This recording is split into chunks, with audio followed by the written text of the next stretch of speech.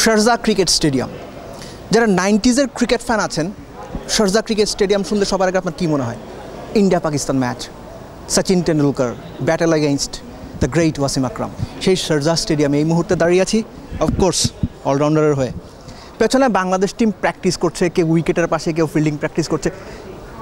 একদম সত্যিকার অর্থে বড় ধরনের যে প্র্যাকটিস সেশন সেটা আমরা দেখছি না। খুবই এক্সপেক্টেড আগের দিন বাংলাদেশ ট্রাভেল করেছে, পরের দিন ম্যাচ ডে তো in between those two days যেটা ম্যাচের আগের দিন, বাংলাদেশ খুব বেশি প্রেশার নেবে না এবং এই প্রেশার যিনি সবচেয়ে বেশি নিচ্ছেন না, তিনি Shakib Al Hasan the king Shakib Al Hasan. Practice আসেননি রেস্ট নিচ্ছেন। অফকোর্স অনুমান করি, তিনি বোধহয় বড় কিছুর জন্য নিজেকে দারুণভাবে প্রিপেয়ার করছেন। সাকিব আল হাসান এখনও পর্যন্ত কী পারফরমেন্স করেছেন?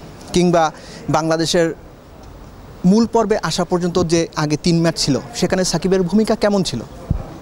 সাকিবের ব্যাটিং স্ট্যাট যদি আমরা দেখি, একশো আট রান করেছেন, এভারেজ ছত্রিশ, স্ট্রাইক রেট হ্যাঁ একশো পনেরোর মতো, তার আরও ভালো হতে পারত কিন্তু যে সিচুয়েশনে যেভাবে তিনি ব্যাট করেছেন, দলের জন্য যেটা দরকার ছিল, ঠিক সেটাই করেছেন সাকিব আল হাসান। এবং সাকিবের কাছ থেকে সেটাই এক্সপেক্টেড ছিল যে বাংলাদেশে যদি ভালো কিছু করতে হয় পাপুয়া নিউগিনি ওমান এবং স্কটল্যান্ডের এগেনস্টে বাংলাদেশকে যদি জিতে বের হতে হয় সবচেয়ে বেশি যে মানুষটার উপরে ভরসা ছিল দ্যাট ইজ সাকিব আল হাসান। তো আলটিমেটলি তিনি সেটা করেছেন। এখন কথা হচ্ছে যে ব্যাটিংয়ের তথ্যগুলো তো আপনারা জানলেন। বোলিংয়ে কী করেছেন? কোয়ালিফাইং রাউন্ডের Shakib Al Hasan he is the best bowler তিন ম্যাচে নয় উইকেট পেয়েছেন। নয়টা উইকেট শুধু না, তার যে অ্যাগ্রেশন, তার যে অ্যাপ্লিকেশন, তার যে ডমিনেশন সব কিছু মিলেই গ্রেটনেসের যে ব্যাপারটা, সেটা একদম স্পষ্ট ছিল। বেস্ট বোলিং ফিগার কোয়ালিফাইংয়ের সাকিব আল হাসানের। তার এভারেজ উইকেট প্রতি রান দিয়েছেন ছয় স্ট্রাইক রেট প্রতি আট বলে একটা করে উইকেট নিয়েছেন। ইকোনমি সাড়ে চার টি টোয়েন্টিতে যেটা অবিশ্বাস্য। ডিশ লাইনের ঝিরঝির খেলা আর কত দেখবেন? বিশ্বকাপে আমাদের খেলা দেখুন ঝকঝকে আকাশে। আর আকাশ কিনে বুঝে নিন আমার সাইন করা একটি আকর্ষণীয় ফ্যান জার্সি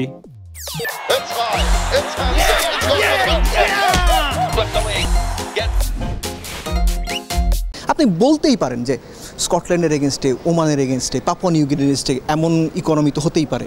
না হতে পারে না, সবার হয় না। সাকিব আল হাসানের হয়েছে। সো বাংলাদেশ যদি ভালো করতে চায় স্পেশালি দ্য স্টার্টিং ম্যাচ সবসময় কথাটা বলা হয় যে যে কোনো টুর্নামেন্টে প্রথম ম্যাচটা জেতাটা খুব গুরুত্বপূর্ণ। আর যেহেতু বাংলাদেশ কোয়ালিফাইং রাউন্ড পার করে মূল পর্বে চলে এসেছে, এই মুহূর্তে বাংলাদেশের জন্য প্রথম ম্যাচটা একটা হাই নোটে শুরু করা কিংবা আরও স্পষ্ট করে সহজভাবে বললে জিতে শুরু করা, সেটার জন্য একটা মানুষের উপরে একটু বেশি ভরসা বোধহয় করতেই হবে।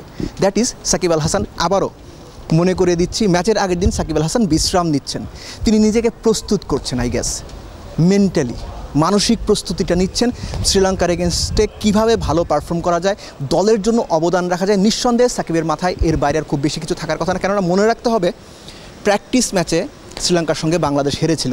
সেই ম্যাচটার ফলে যেটা হয়েছে, বাংলাদেশ দল সম্পর্কে শ্রীলঙ্কা যেমন ভালো আইডিয়া পেয়েছে, শ্রীলঙ্কা দল সম্পর্কে বাংলাদেশ দারুণ আইডিয়া পেয়েছে। সো হোপফুলি সব আইডিয়া মিলিয়ে বাংলাদেশ টিম ভালো পারফর্ম করবে এবং আবারও পারফরমেন্সের নজরটা থাকবে যার উপরে, তার নাম সাকিব আল হাসান।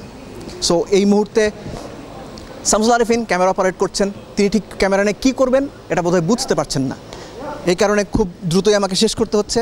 অলরাউন্ডারের সঙ্গে থাকুন। হয়ে ওঠেন অলরাউন্ডার সাথে আছে আমি দেব চৌধুরী শারদা থেকে নিয়মিত।